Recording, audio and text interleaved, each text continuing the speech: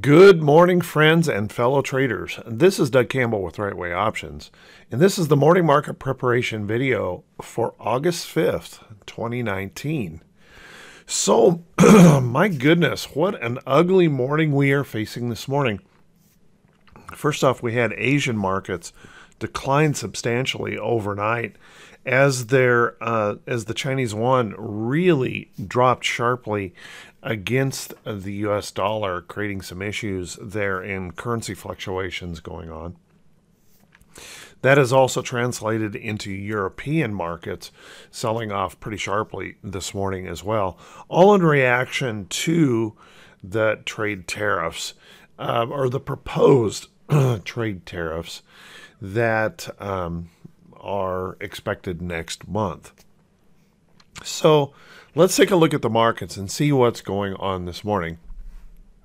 First, excuse me. First off, we have a market that is looking for a substantial gap down this morning. We're gapping sharply lower after that little bounce back rally on Friday that held that 50 day moving average. And honestly, I thought we would get some kind of a rally back up this morning, but um, we're going exactly the opposite direction with a substantial gap down. Now, there is price support down in this area, so at, at least that is a good sign. But unfortunately, we're creating some tremendous technical damage this morning, um, gapping down below the 50 day moving average, and probably creating a short term oversold condition. Now, that doesn't mean we can't go lower but in the short term, this reaction has been pretty substantial. And if we take a look at this, um, this is this rally was more than 10% up in two months, and in four days, it looks like we're going to take about 50% of that back just really quickly. So pretty shocking move, um, certainly. And that's one of those things I've been talking about and worrying about that complacency of the market. All of a sudden, the market gets shocked and we get that substantial sell off. So, and, and please don't anyone think this is anything out of the ordinary. If you look back here, we saw these kind of shocking moves just um, at the end of last year, and we've seen those many times before. So, this will happen when a market gets kind of overextended in the short term. We kind of forget that there's bears out there and um, we forget that the bears get hungry every once in a while and they come out to eat. So here we are um, experiencing this painful sell off. And I know that that doesn't make it any better, that we, we really should have been expecting this. But um, just know that it's not odd and out of uh, the ordinary.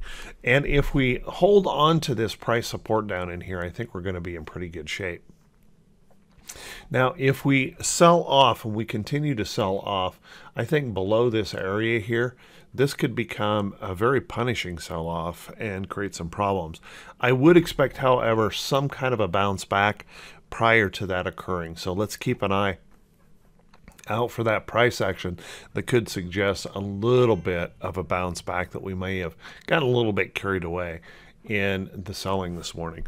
Let's take a look at the SPY. Certainly a very, very painful sell-off here as well in the SPY. Um, not looking so good overall. And you can see we did end up on Friday end up holding on to that 50-day moving average, which was wonderful to have been able to held on hold on to that. But as you can see, um, gapping down below here this morning is creating some substantial technical damage. There is some price support right in this area where we're looking to gap down. As you can see, a little bit of a consolidation right here, these market highs right here, and this consolidation right here. So we could catch a little bit of price support in that level and um, maybe bounce back up. We'll want to watch that closely. And here again, wiping out um, a, a, full month of the rally here in just four trading days. So getting a little bit oversold in the very, very short term. That doesn't mean we can't continue to go lower, but we're just reaching kind of a, a an oversold condition in the short term. Um, any bounce back, we're to, going to want to watch pretty carefully opening down in this area. Any bounce back, we're going to have to start watching these resistance levels um, on any rally back up. And keep in mind, gapping down here, that 50 day moving average now becomes a price resistance in the chart. And that possibility of a failure from here that could lead to a bigger market correction. So let's keep a close eye out for that. And let's not just assume that we're going to rally all the way back up. There's a lot of uh, uh, unanswered issues out there that the market is trying to deal with. Let's take a look at the Qs. QQQ, obviously punishing move this morning, gapping way down here this morning, it looks like, and gapping into some price support. There's some price support through this area as well. So we'll want to watch that right in here to see after that punishing gap down if we can't catch that little bit of a rally to come back up.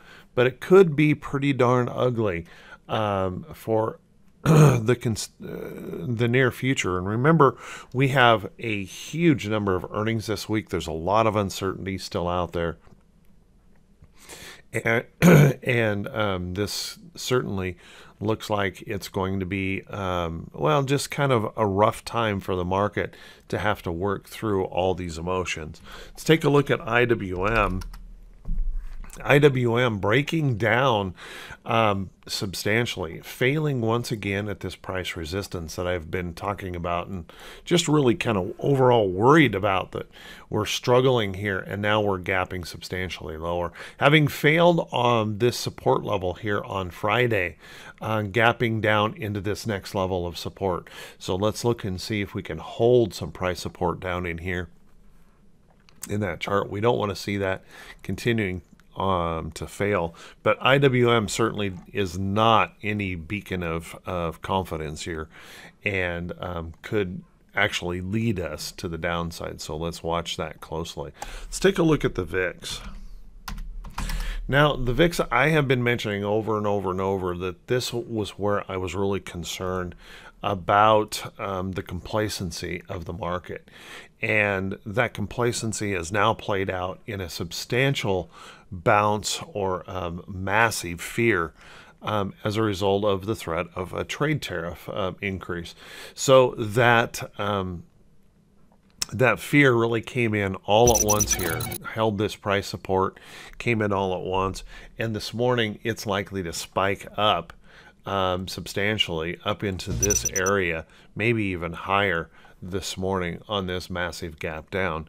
Now, I think we're going to be um, okay um, as long as um, cooler heads begin to prevail in this um, big gap down this morning. Um, but I will be really, really concerned if we pull back at all and we hold above this price support area right in here. If we pull back at all, hold above there, and hold that area as support, I would be worried of more selling to come. So watch that pretty closely as we head into the future here this may not be done, and as a matter of fact, it could get um, pretty oppressive here for a little bit um, uh, with suddenly turning so bearish and fear really coming up in the market. Let's take a look at T2122. T2122 is that four week new high, new low ratio.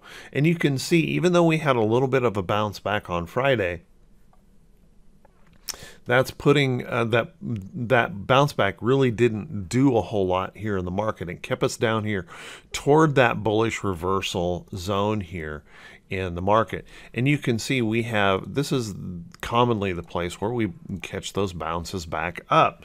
So um, this morning's big gap down, and probably I'm going to say kind of an overreaction gap down, kind of a punishing gap down, is going to bring us clear down into here, very, very close to this zero level um, in the chart. That means we are substantially oversold in just a very short period of time. Doesn't mean we can't continue to go down, but just that short period of time, we have reached a pretty darn um, um, um, substantial oversold condition really, really quickly, that would suggest we at least get a little bit of relief, whether that be a little consolidation or, or a bit of a bounce rally back up. Um, little bit of relief that should come into market here um, over the next couple three days, but watch that closely. Um, could be pretty darn punishing if we continue to sell off uh, to the downside. Let's take a look at um, our economic calendar today. And unfortunately, our economic calendar does not have a tremendous amount on it to really move us around uh, much today. We do have an ISM non manufacturing at 10 a.m. Obviously, PMI services index um, before that, but I wouldn't expect that to move us at all. And then after that, we just have bond auctions and things going on, and a Fed speaker later on this afternoon. So pretty darn, uh, pretty darn quiet on that economic calendar. So that's not going to help us. However, on the earnings calendar, we have a massive week of earnings. We have uh, more than 1,200 companies reporting earnings today. So, or not today, this week, which means we should expect this. Uh, you know, and you combine the VIX with all of this additional fear and a massive number of earnings, expect extreme price volatility, very, very challenging price volatility. Um, we could see those really big herky jerky type actions, full on price reversals intraday. We could see large, substantial gap up, gap down openings for the rest of this week, um, just based on all of these earnings and the the high emotion and fear that we're experiencing in the market right now. But what I want to bring everyone's attention to is first, this isn't um, extraordinary or out of the ordinary. We've we've been in, we've had these shocks before. So the last thing you want to do is you want is is panic or try to revenge trade. Um, probably the better thing for a lot of folks to do is just stand aside. Let the institutions fight this out. We don't have to put our money in this mix. We can protect our capital. We can stand aside. We can be careful. We can wait for our edge to return in the market. And that's typically what I do when I get a market that's reacting like this. It, becomes very, very difficult to do anything except just wildly speculate uh, unless you're a very, very quick day trader. And I just tend to stay away from that. Just back away, um, hold on to my capital, and wait for those cooler heads to come back and we get back to some better trading. Now, that doesn't mean that we can't continue to uh, downside trading isn't possible. As a matter of fact, if we rally back up and we run into resistance around the 50 day moving average or any of these resistance levels in the chart and we show failure, that's really going to set up probably some additional selling to the downside. And so I'm not suggesting that I'm just going to be waiting for an upside market. I'll be waiting for a better entry, possibly for short trading. Um, I don't want to chase a move like this down. I'll wait for that rally back before I get um, heavily short in this market. So, reasons for that. So, with that, everyone, hey, I want to wish you all a great day. I know this is probably not one of those days that you anyone wants to face. We all look at markets like this with a pretty grim attitude, and I certainly understand that. But let's keep in mind that markets or stocks have been pricing themselves really to perfection here lately. Um, even as earnings have come out better than expected, they're essentially flat with last quarter, suggesting no growth. And so we've been pricing these stocks at truly, truly uh, perfection prices. And a pullback offers us that opportunity when that once this all settles out, um, better prices on really good quality stocks. So as long as we don't uh, get involved in um, trying to speculate around this sell off and end up losing a whole bunch of money, we'll be in really good shape when the market comes out of this and starts to clean up and improve. So just keep that in mind. So, with that, everyone, I want to wish you um, all a great day. I, I, know that's pretty rough to say on a market like this, but I wish you all the best. I hope, hopefully, some of you um, have some short or hedge uh, positions on that are making this uh, market very palatable, um, even profitable today. So I wish you all the best today uh, with what's going to be kind of an ugly morning. Um, and with that, I want to say thank you to everyone who watches these videos. If this is the first time you happen to see these videos, please do me a favor. Click that subscribe button and on YouTube and then click that bell icon when it pops up so that you can be notified of these videos. Now, the purpose of these videos are not to provide you any prediction as to what the market is doing or will be doing. It's to look at the technicals of the charts, kind of decide how we want to approach the market for today. I can tell you after looking at these charts, um, and I had this decision made on Friday, that I'm largely standing aside. I'm protecting myself in this market and um, protecting my capital, protecting my business while we go through these wild fluctuations in the market. I will likely continue that uh, protection stance uh, today as all this volatility unfolds. So, um, with that in mind, um, no prediction here in these charts. And if you find this this useful, if you find this information helpful in how you might want to approach the market for the day, please do me a favor. Please click that uh, thumbs up button and leave a comment. Um, any any comment uh, will do. It just helps those algorithms show these videos to more people.